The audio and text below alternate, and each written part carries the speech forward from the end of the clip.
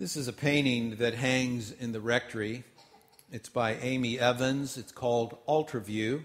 Amy painted this for me and Charlotte and gave it to us at the close of our time of ministry in Breckenridge. And at times in my life, it has brought out a range of emotions. Today, it reminds me of a little four year old boy who called this his church. His name is Jacob. Jacob was asked by his father as they were working on remembering the names of the seasons of the year, What's the season that comes after fall? And Jacob quickly responded, Basketball season. Many of the children believed that their parish was special.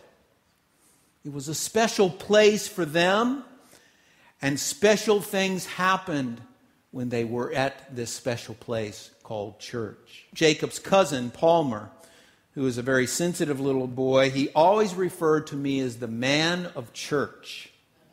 I like that title, the man of church. Now, Jacob has a sister named Lily, and I baptized Lily. And at the lunch after the baptism, I heard about the children's parish through the eyes of a four year old. During my homily, Jacob decided that he needed to help his cousins understand the liturgy of his church. So he said, after all this talking stuff, we go to the altar for bread and wine.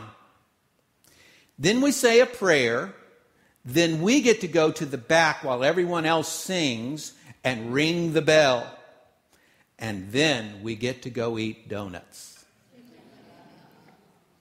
Children remind us what's really important in life, and in Jacob's case, it's basketball church, and donuts. Children give us insight into our spirits, which can often, over time, have developed thick defensive walls as we become adults.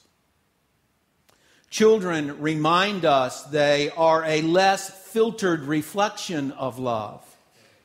God's love in and for all people and that's one of the reasons that Jesus pointed us adults to children and communicated how we as adults are to live as the hands and face and heart of Jesus.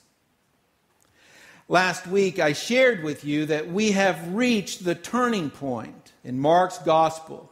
And it's a turning point for the disciples as well.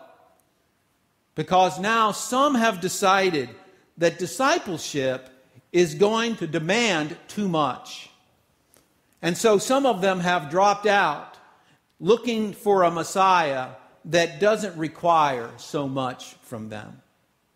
In verse 32, you can see that their silence is really telling.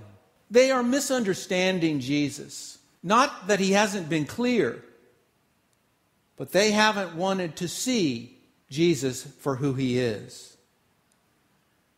And this silence at the beginning of our reading today points to them being afraid to ask Jesus about the meaning of his teaching.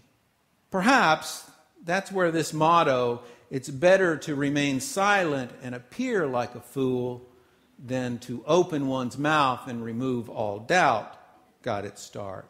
It's not that Jesus hasn't been telling the disciples for some time now what will happen but we see more and more in Mark's retelling of this narrative that the established lenses and projections that the disciples have, that the person they wanted Jesus to be hadn't made room for what Jesus was. And those projections follow us around too, don't they? Depending on our past, on churches and communities that we've been a part of, we all carry these lenses and projections that then we look at what is now, probably one of the most common conversations I have is with folks who have had really horrible experiences in church.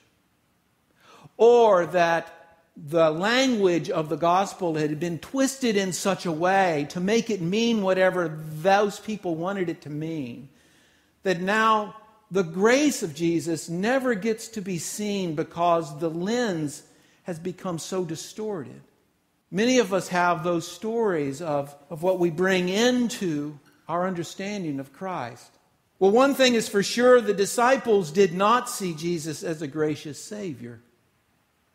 The emphasis of our narrative today begins with a question, a question all too real for us.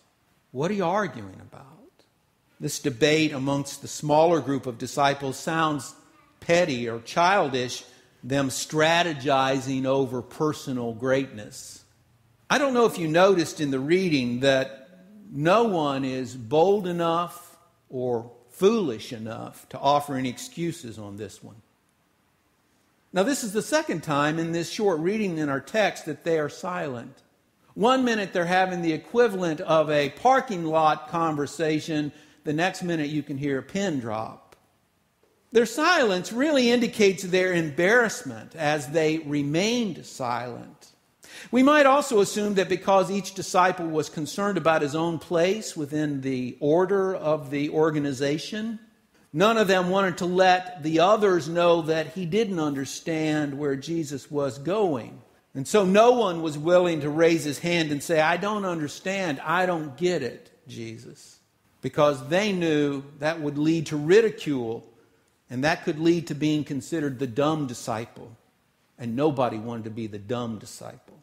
I was talking to Dr. Chris Gerdes after the service, and he was telling me that in the midst of Stanford, the brightest, most intelligent, that everyone looks around, even in the midst of all of that brilliance, and looks around and they go, I don't know how I got here because I'm not as smart as everybody else here.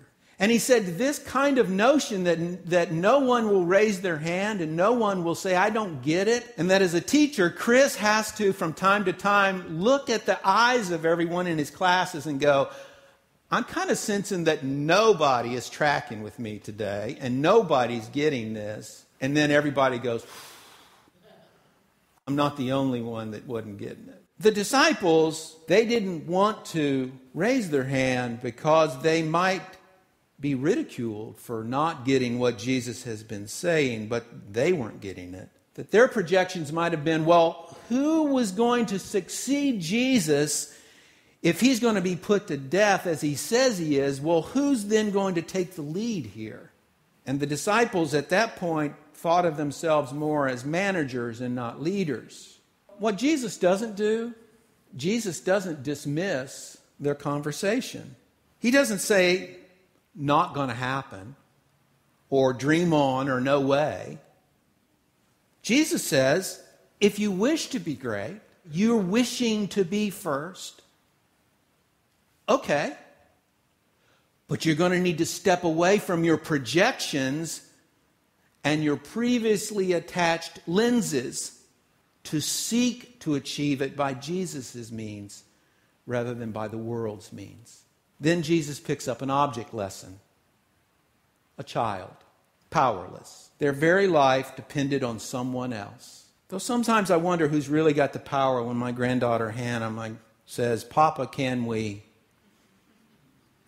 And I try every possible way to make it happen for her.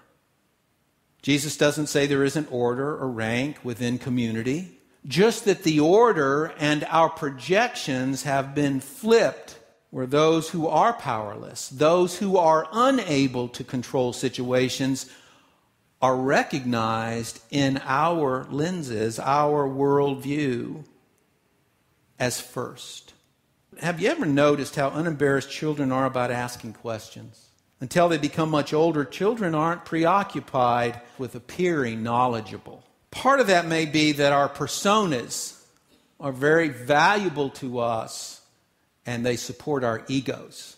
And the more that we stay within our persona, the more we don't risk being outed as not the smartest person in the room.